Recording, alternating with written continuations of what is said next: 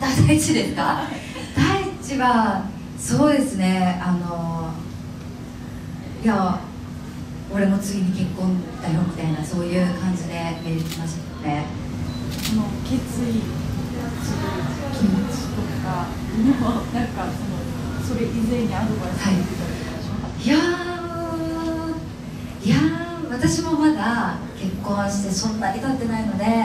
そんななんかこう上から目線で大事にこうなんとかだよっていうノリはないんですけどいつもやっぱ話す時はこうまあ歌ダンスとか今最近何が聴いてるのとか会話なのでアドバイス的な会話はしたことないですね。はい。ちなみに17日には沖縄で先行上映になりましたけど、舞台挨拶は2回ますけどいかがですか？あ私ですか？いやあのーすごく両親が喜んでてで1718って先行上映があるんですけど挨拶の後にこう戦隊あのーアクションもそのショーもやるので今までと違ったこう舞台挨拶になるんじゃないかなって思います。私は戦いはないんですけどあのオファーがなかったのでないんですけどでもあの見るっていう感じでやると思いますよ。多分ぜひ飛び入りで。いやぜひ殺されない程度に頑張りますそれが割と東京で30日前夜祭なんですねはいそうなんですよ歌うんですか私は歌わないですねでも他のアーティストさんは歌う歌う予定ですよね。歌います。歌うブーとチリが歌います、作って作ってはぜひ歌ってくださいいねいやー飛ぶチリできるかしらね。参加できたらいいですけどね。最近ちょっとすみません1個だけ聞きたかったんですけど、はい。某アイドルグループの振付師になりましたけど、はい。あれはどんな感じなんでしょうか？えー、っといや私自身やっぱりこうグループで活動してたっていうこともあってこう、まあ、お教えできることがきっとあるんじゃないかなと思って参加することになったんですけどあの何回か彼女たちに会ってもうすごく純粋でもう歌とダンスが好きっていうのが伝わってくるのでなんか私もこういいエネルギーをもらいつつ上げつつっていうふうに関係性を持てたらいいなと思いました。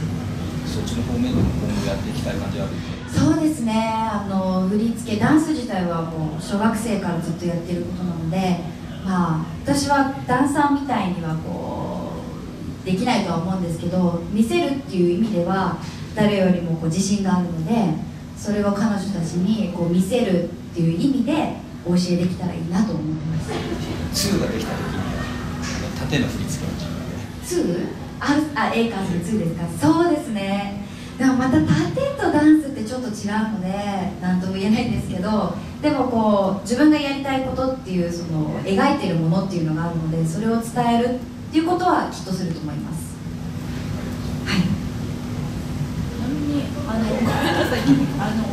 じゃあご夫婦で一緒に見に行かれますか？東京で始まっな何をですか？A カーズ。ですかエカーズ。A カーズそうですね。あの時間が合えば。はい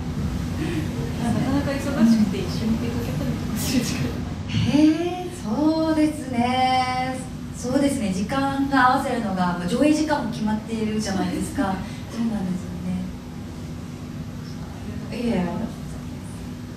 私いいです。はいどうぞどうぞ。印象に残ってる映画でシーンとかあとはここをぜひ見てほしいというはい。場面があったら教えてください、えーっと私が印象に残ってるシーンはちょうど多分中盤にあったと思うんですけどみんなでこう作戦会議してるシーンがあるんですよね。それもともとセリフは一つ一つのセリフを、まあ、春が言う。で釜が言うっていう感じだったんですけどそれを岸本監督が区切って言おうって言って私がやるよっていうのを私がが春がやるよっていうのを釜が。で次のセリフはヘラーがっていうふうにもう今まで言いやすかったテンポがこう区切ることによってこうテンポ感をつかむのがとても難しかったですね。っていうのが難しかった点でで私が印象に残っているシーンは最後のシーンですね。あの木の葉にいろんなお話をした後に木の葉を大地に返すっていうあのシーンがあるんですけどそのシーンは岸本監督がこう表情を特に気をつけてくれっていうふうに言っててでこう喜ぶシーンでもないし悲しむシーンでもないのでその表情を作るのがとても難しかったし私が大好きなシーンになりました。ありがとうございますはいはいそうですそうですティティですあの葉っぱなんですけど、はい、あそうですそうですあの後ろに可愛かったですはいこの可愛い可愛いですよねちっちゃみたいなあのさっきの話と関連しちゃうんですけどダンスと盾っていうのの違いってさっきちょっとお話あったかもしれないですけど、はい少しお聞きする。とこの辺がどう違スの場合はやっぱリズムが取らなきゃいけないんですけど縦の場合って、まあ、軸も違うですしこうそこに例えば剣とか持ってたら剣の振りってあるんですよこういうあの空手とかもそうだと思うんですけどこう止める？止めるっていうのがあるんですね。ダンスの場合はリズム感を大事にしていかなきゃいけないのでそれを止まらないようにその音楽に合わせていかなきゃいけない。でも盾とか空手の場合って止めるっていうのがあるのでそれがやっぱりもう基本が違うと思ってます。じゃあこの作品の場合そこの使い分けっていうんでしょうか。体の中の難しさみたいなところ。も、そうですね。なので私はもともとダンスから入ってこういう動きをやってるんですけどなので全然盾は難しかったですね。基本が違うしあの姿勢が違いました目線も違いますしなので盾は本当一から勉強させていただいた感じです。この後もそのアクションっていうんでしょうか俳優としてそういうのに挑戦していく。そうですね。目指せ真田広之な感じで。はい。はい。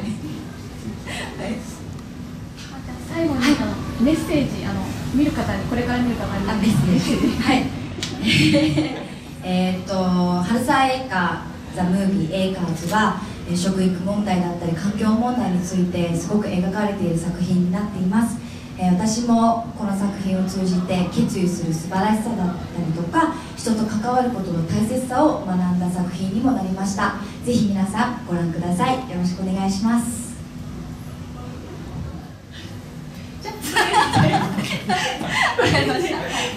わらせていただきます。皆様ありがとうございました。